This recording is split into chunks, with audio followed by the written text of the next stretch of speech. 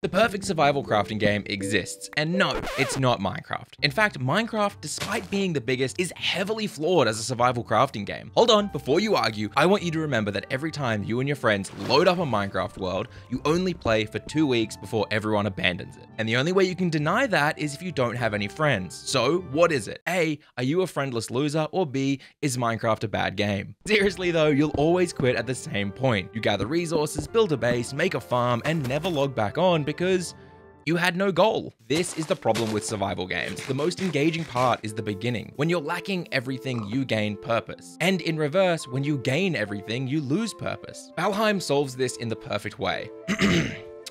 By bullying the ever-living shit out of you. You're my dinner. Oh, like most survival games, it has a hunger mechanic. It slowly drains away until you eat. But unlike most games, you can't eat just anything. You can only eat three different foods at a time, and different foods affect your health and stamina in different ways. Early on, you can scavenge berries or mushrooms for small boosts to your stamina, which will help you chase down deer and strangle them to death with your bare hands. Yeah, you run. Oh, yo, what are you gonna do? Go into the water? You win this round. Okay, fine. Maybe you're gonna strangle a boar to death first. Bring it on. I'll take you all on. What are you gonna do? Three on one me? I can take you down. Oh, well, once you've got your boar meat, cook it up and suddenly you've doubled your health. But of course, you'll need a fire, a cooking rack to place over it, and I'd recommend you get to that fast because if you're stuck outside when it rains, you'll get wet. Not in the good way either, you'll be lowering your health and stamina. Oh, and remember to build a shelter because that fire won't last long in the rain either. Oh, for fuck's sake. Thankfully, despite the game starting you completely naked, alone, and afraid, title of my sex tape, it will gracefully allow you to craft yourself armor and weapons from the resources you gather. Like this stick for bashing, or these sticks that throw sticks. You're mine!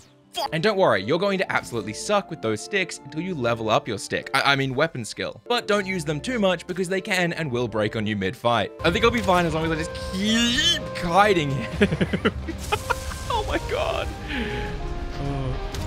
Uh, come here, I'll bite your legs off. But now that you're a lean, mean stick machine, you can safely start gathering up resources for your first base. But don't gather too much because you've got a weight limit on your inventory, which you really don't want to go over. This isn't too bad. Hunger, temperature, weight, it's all fairly normal. But you have to manage all of these while going up against some of the most terrifying beasts you've ever seen. You don't know true fear until your food runs out mid-battle against an abomination, and you're trying to scoff jam while dodge rolling through the mud and rain. Oh shit, I haven't eaten anything. Oh, no, no, no, no, no, no, no.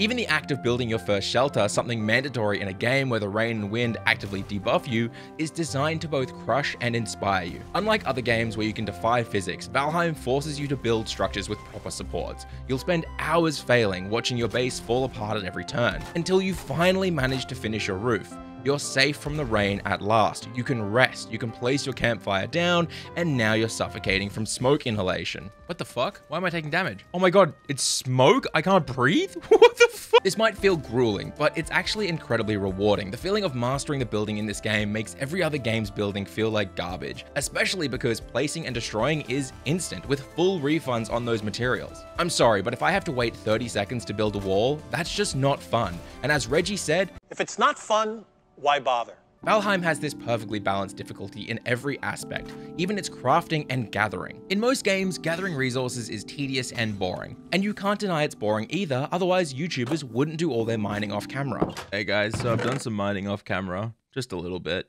Not only is the entire world destructible, but as I said earlier, every resource has weight, and the heaviest options are things like wood, stone, and ores, all the things you'll need a lot of for your bases and crafting. This weight means you won't be able to just run off, get a stack of stone or ore, and then just run home. No, you need to do dozens of trips. Or if you're going far away in hopes of finding ore, you could take a cart. But if you take a cart, you'll be slower because of all the hilly terrain. So instead, you invest time building a highway, flattening the ground, carefully raising and lowering it so your cart can glide smoothly over it all. You'll do all of this for hours, only to fill your cart up so much, uh, yeah, you can't pull it because it has weight too. And away we go!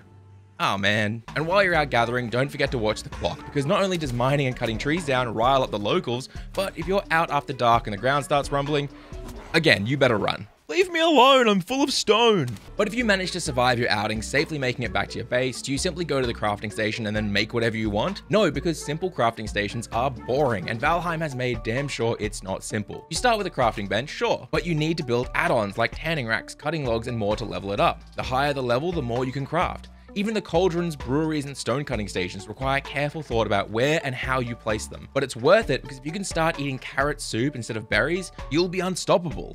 Ooh, a cave. Uh, I think this is empty. I can't see anything.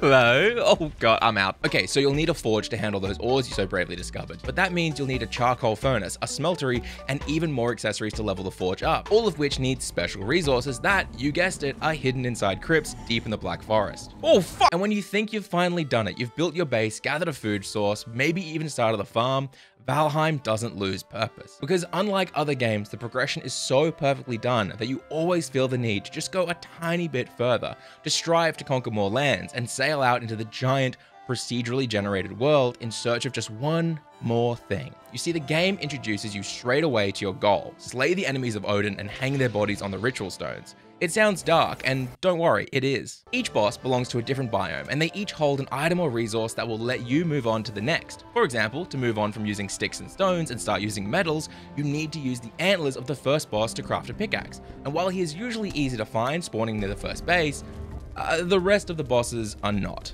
So I'm down here, and the next boss is up there. Fuck. In most survival games, your instinct is to build one main base early on, finding a great spot and investing all your time there.